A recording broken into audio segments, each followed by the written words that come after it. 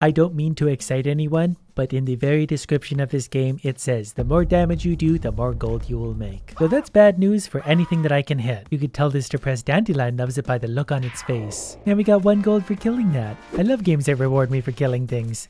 Especially if I use my auto clicker, it'll be like a machine gun of death. And everything just gooifies. This is way too much fun already. Area complete, but I'm not done yet. There was a kitten in there. This looks like something I would create in Spore. Now that we're done murdering things, we're gonna hire Cid the helpful adventurer. And then we're also gonna level him up a few times simply because I can. 8 click damage. And it gives me a chest for killing things. Oh, Okay, well, it was a fake chest, but you get the idea. Still only making one gold per death, so we need to get more damage. How many things do you think we have to murder before Cid gets a good upgrade? Then again, I can also hire Treebeast already because we made $50. So let's buy this, 5 DPS. So I don't even have to click anymore if I don't want to. Things will just automatically lose their life at 5 hit points per second. But I'm kind of tired of murdering these creatures, so let's try some new ones. Or at least a new level. And we get 2 gold here. Oh, that was quick. You don't have to kill very many creatures to move on to the next levels. The creatures are a lot stronger at the forest level 3, but they're giving me 3 gold per death, 3 gold per murder. That's what I get in real life. And that area is very quickly complete because I can auto-click and gooify literally the entire world. Next, let's try Ivan the Drunken Brawler because he has 22 DPS. One surprised fighter, he now works for me for peanuts. Area 4. So what do you give me per death? Five, six golds. Yeah, something like that. Look at that thing. It looks so happy. I like this game because I had to sit here and wait for things to die and then I get rewarded for it. And I already managed to break it somehow. Not sure what's going on with my auto clicker, but I'm a little concerned about it now. I'm like Five minutes into the game, and I've already managed to bone it up this bad. Anyways, one quick little restart later, and I'm maybe gonna go a little easier in the auto clicker for now until I figure out why the game doesn't love that. But I'm also gonna upgrade Ivan, so he's gonna go from 22 to 44 damage per second, which basically means my income is that much faster. Then we're gonna go to level 5, where we get a new creature that looks like a furry pumpkin. And if I click on him, it does 8 damage. If I auto click on him, it does like a billion damage. And I guess it gives me 30 seconds to kill him every time. Goodbye, furry pumpkin, it's been an honor. And now we get to kill cactus things and cats and cactuses again. But look at all the money we're making. We're really making it through these levels very quick. I guess that's thanks to my DPS. These creatures do have 200 HP already, but I'm doing enough DPS that it only takes a few seconds to kill them and then I get the money. So I think it's probably worth saving up for Brittany the Beach Princess at this point, though it's going to take a minute. And anytime I'm done an area like I am now, I'm going to move on to the next area because there's just more money to be made. And I'm pretty sure it's worth it despite the fact they have more HP. It is definitely worth it because I get to kill this thing. Once this adorable little thing dies, we'll have the money we need for the Beach Princess. The next hero is 4000, but the DPS 74 sounds good to me. Which brings us to Drylands level 9. But once we kill them, we're getting 9 gold per coin. Or somewhere in the range of 30, 35 gold per monster killed. Are we gonna get a boss at level 10? Looks like we are, like they have an auto clicker, so... Kinda wish I was doing more than 8 damage for a base attack. And he's dead, and that looked like a pretty good reward to me. I think if I want more click damage, I need to upgrade Cid, the helpful adventurer. Yes, because now I'm up to 10 click damage, which actually makes a bit of a difference, so I'm to spend a bit of money upgrading him. Plus big clicks, increase damage by 100%, yep, let's do it. His name really doesn't lie. Now that I spent all that money, we're doing 60 damage per click which is much quicker than the 8 we were doing before. So if I use my auto clicker again, the game once again doesn't love it, but I make money very quickly. Level 11, it turns into the night, and all we gotta do is kill 10 creatures here before we're on to the new area. And this extra damage is certainly helping me out. The coins dropped on the ground are worth about 20 gold each, 27 gold each, so we're making 75 per monster. And we can also unlock the Wandering Fisherman, who's gonna give us 245 DPS. So that's going to drain your health pretty quickly. And then at level 12, we're getting 42 gold per coin. So the numbers are going up very quickly now. It's actually giving us a clickstorm ability. It's only 250, so we'll take it. So I mean, I can just go like that and it's going to auto click for me. Not that I really need that. But let's also add some auto, some clicker damage while we're at it. 75 per click. Well, the in-game auto clicker was fun while it lasted. What do you give me now when you die? 49, about 200 gold per kill. I really love a game that gives you more damage for more money, and then more money for more damage. It's a never-ending cycle of death. All we need for the next hero is $20,000, and that's not actually going to take that long considering they're now giving us like 400 per kill. Level 15 gives us King Copernicus, who really likes my auto clicker. There we go. Not sure how much he actually gave me, and we started again because I don't know how to turn my auto clicker off anymore. There it goes. I think it's because my auto clicker works faster than you can physically click, so it has to catch up once it's done. And I get it. You need to kill him before the timer runs out, otherwise you don't get paid. And then once he's dead, we're going to slowly collect all the coins while the auto clicker fixes itself. Almost 5,000 per kill. That's not bad. So I'm going to see if I can manually kill him dead in the next 10 seconds, and I don't actually think I can. We're just to skip to the next level and make a little bit of money here killing this guy. But they're also giving me 750 gold per kill. So we can already hire her for 20,000. She's doing almost a thousand DPS. So I do need to remember to go back and upgrade some of these other heroes because they get special skills too once they hit things like level 10. So say we get him here, we do that, and it's going to give us some extra boosts. And the Wandering Fisherman can be upgraded fairly cheaply, and that's going to give us an extra 200 DPS, which actually makes a pretty big difference still. But it's going to be hard to keep up because the creatures now have almost 10,000 HP each. They still die fairly quickly because I'm doing almost 2000 DPS per second, but you get the point. They're also giving us 1200 gold per death. On level 18, the creatures are giving us about $2,000 per kill. So that's going to help the upgrades. I can already upgrade her again, which puts our DPS at extra 1000 up to 2800. So I'm going to upgrade the Wandering Fisherman again because that's going to add a few hundred DPS by itself and it's pretty reasonably priced. And you know what? I think I'm going to need more click damage after I find out what level 19 creatures give me. So we're looking at about $3,000 per death. So if we hold shift, we can buy 10 levels, and then another 10. Then we can buy this, which is going to give me click damage plus 100%. 226 click damage. That's going to make a big difference. Well, I want to build up here on level 19 to make the boss at level 20 look really stupidly weak.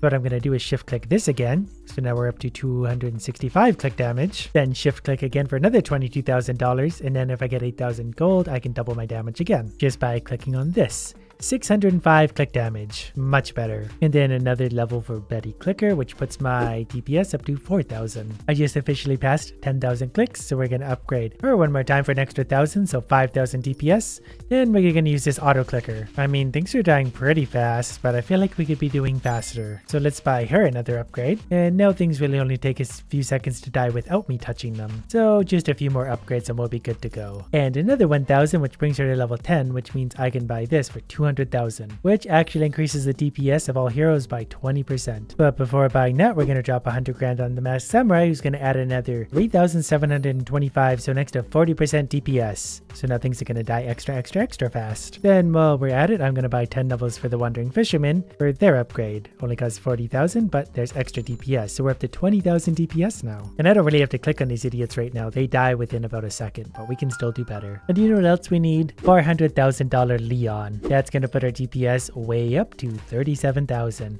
Another creatures definitely die in maybe half a second. Then I've been upgrading to Wandering Fisherman because he seems like a reasonably priced upgrade. Once he hits 25, we're going to double his damage. Which does seem a little unnecessary at this point considering the creatures are melting pretty much as fast as they spawn. But let's see what this does for us. Going from 44,000 DPS up to 59,000 DPS. That was actually a really, really big jump. It's basically just raining money now. If we get Betty Clicker up to 25, we can boost all DPS by another 20%. So let's try and do that. Might get really expensive, but we're gonna try it. Decided to save up just a little bit of money, so hopefully we'll get the next seven levels out of her, and then able to afford this. So my DPS is now at 77,000 up to 91,000. Plus then when I upgrade him, we're up to 107,000 damage per second. This is much quicker than where we were at before. And now that we are over 100,000, let's try the boss. Desert level 10. Well, he's not dying as quick as I would have liked, but we're definitely within that 30 second time frame. And he's getting me uh $50,000 per kill. So I'm going to sit here and save up for a little bit. And as quick as we're killing her, it's not quick enough because my money's not going up quick enough. Luckily, I can upgrade my samurai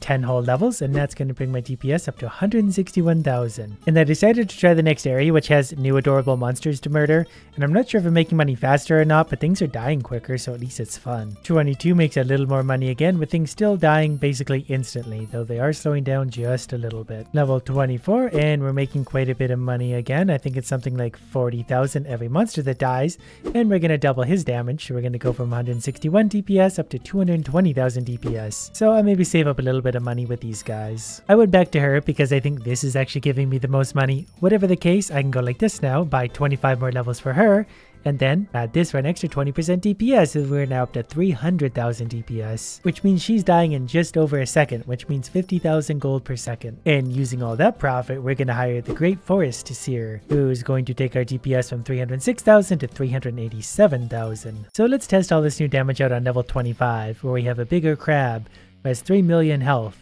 but I think we're gonna take him down by the time the timer runs out. We used up about 10 of the 30 seconds. And how much money does he give us? I think about 600,000. Mm, might be closer to 500,000. Anyways, a lot of money. So I'm gonna sit here and let him die for a while while I pile up like 400 billion dollars. While we're waiting for our funds to build up, we have $10 million right now. I'm going to buy another 10 levels for Leon, then double his damage output. And that brings us up to 800,000 DPS, getting pretty close to a million. And after murdering this stupid crab 4,000 times, we're able to hire Alexa. So our DPS goes from 800,000 to 1,123,000. So we can move on to level 26, where things are basically just evaporating because our damage is high enough and we killed a Ninja Turtle while we were at it. And we're making money pretty quickly here. Not as quick as with the boss, but we're still making quite a bit. These guys are giving us about 200,000 $1,000 per death. So that's going to add up pretty quickly, but not as quickly as the next level. They also have several million health, so they're not dying as quick as I would like them to. Hopefully level 29 here really pays out. 3 coins, 115, about $350,000 per death. And since our Masked Samurai currently is 12.6% of our total DPS, we're going to give another 10 levels and then maybe another 5 on top of that, that way you can double his damage. Then we go up to 1.6 million DPS. And then we're to do the same thing with Leon, 10 plus another 3 for 25, then this for $10 million. 3 million DPS. And then while we're at it, we're just going to level up Alexa because that's going to give us an extra 300,000 DPS, which is plenty. Next, we're going to take the Great Forest Seer, who's only level 1 right now, go up to level 10, and then double his damage on top of that. So we're up to 5 million DPS now. He now makes up 35% of my total DPS. Then before moving on to level 30, we're going to give Betty Clicker another 25 levels, and then add this for an extra 20% DPS to everyone, which brings us up to 6.1 million damage per second. And since I'm making money so stupidly fast, I might as well keep upgrading, so we're gonna upgrade this uh, three times.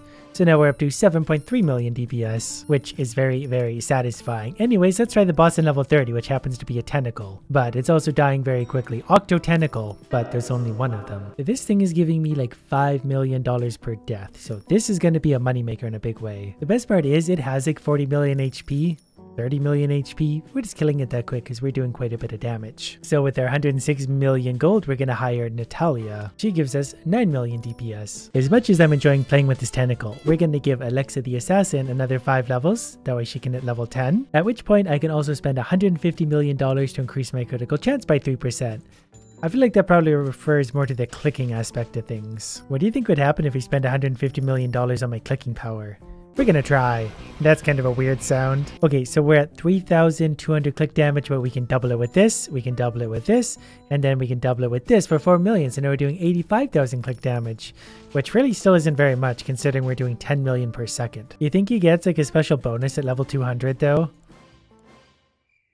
He doesn't. I did, however, see a critical hit pop up, 870,000, so it does 10 times damage every 33 hits. Moving on to level 31, where unsurprisingly we're murdering everything in a really big hurry. Level 34, and I think we're making about $3 million per kill, and we've collectively earned a billion gold. But I think for my next upgrade, I want to be lazy and simply upgrade her, but that's still going to give me 12.5 million DPS, so that was a pretty big boost. Level 35 should have some kind of mini boss. It's just a piece of wood. We have 25 more seconds to kill him. I'm not sure if we can do it with just our DPS.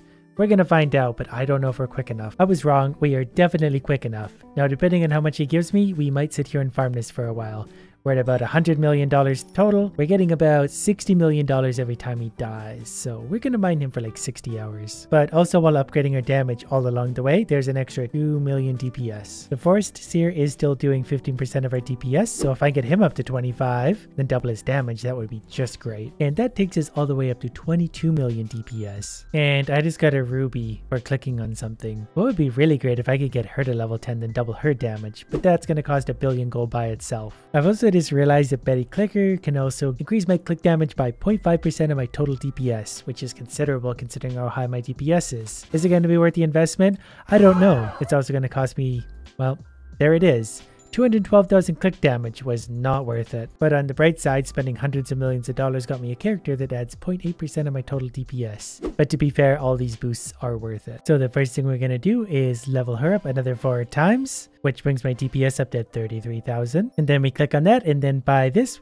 for $1 billion, which is going to double her DPS, which puts me up to 50 million damage per second. She alone constitutes 66% of my total DPS. And finally, before moving on to level 36, we're going to buy Mercedes for 800 million.